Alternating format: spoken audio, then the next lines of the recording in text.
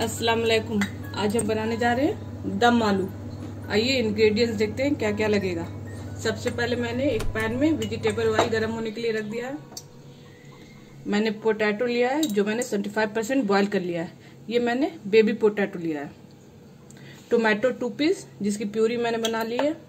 अदरक, लहसुन paste one one tea tablespoon kasturi methi one teaspoon लाल मिर्च पाउडर अकॉर्डिंग टू टेस्ट धनिया powder one teaspoon हल्दी powder, one teaspoon, one onion chop coriander leaves काजू paste पंद्रह piece का मैंने पेस्ट बनाया है।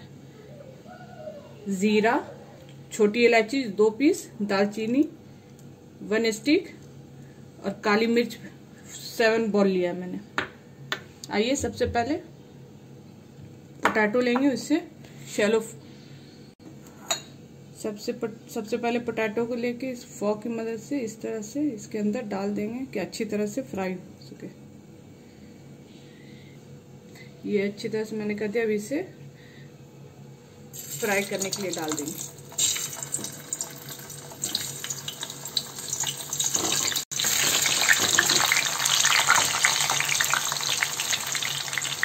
अगर आप चाहे तो इसे शैलो फ्राई भी कर सकते हैं। मैं इसे फ्राई कर रही हूँ।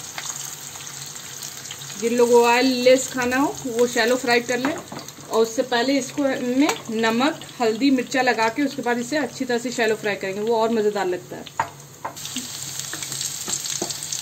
अभी अच्छी तरह से फ्राई हो गया है। अभी इसे एक बॉल में निकाल लेंगे।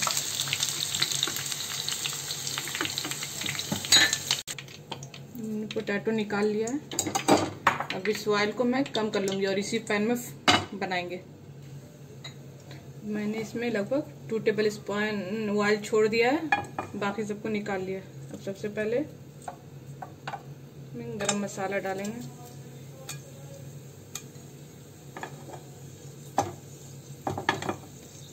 खड़ा जीरा डालेंगे।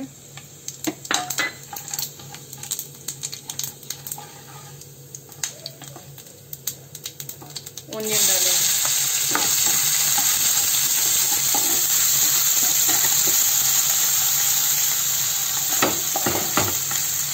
ओनियन को अच्छा फ्राई करेंगे। ओनियन गोल्डन हो गया। है इससे कलर बहुत अच्छा आएगा, इसलिए इसे गोल्डन ब्राउन करना है।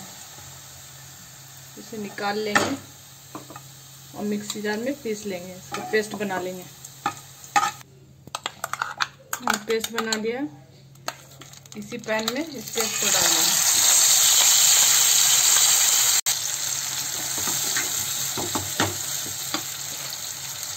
अच्छी तरह से दो तीन मिनट भून लेंगे। इसी में टोमेटो पेस्ट डाल देंगे।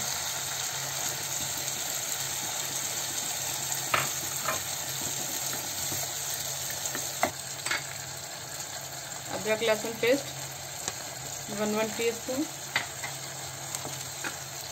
हल्दी पाउडर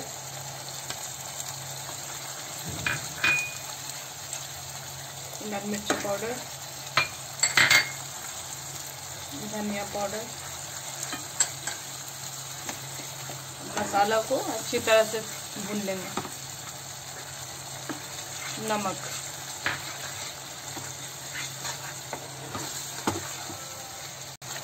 थोड़ा वाटर डाल के ग्रेवी को अच्छी तरह से भून लेते हैं।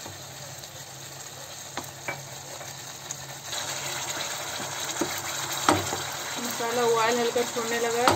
इस स्टेज पे काजू पेस्ट डाल देंगे। इसे मिक्स कर देंगे।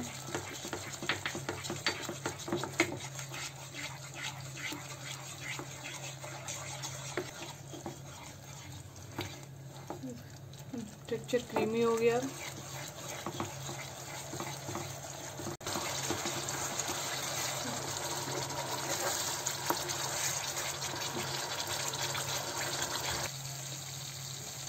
ऑयल ऊपर अच्छे से आ गया है। मतलब मसाला अच्छे से भुना गया है। थोड़ा धनिया पत्ती डालेंगे इसमें। कस्तूरी मेथी। क्रश करके हल्का डाल देंगे। मिक्स कर देंगे।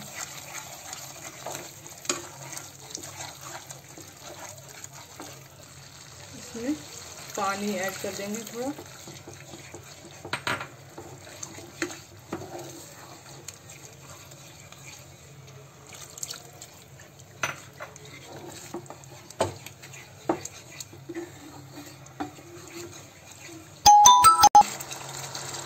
अब इसमें पोटैटो ऐड कर देंगे।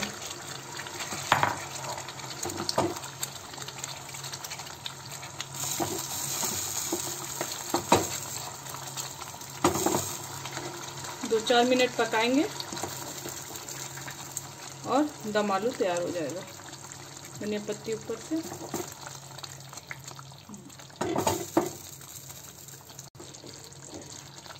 ठीक है, अच्छी तरह से पक गया है ये दम आलू पाँच सात मिनट मैंने और पकाया। गैस ऑफ़ कर देते हैं। इसे डिश आउट करते हैं।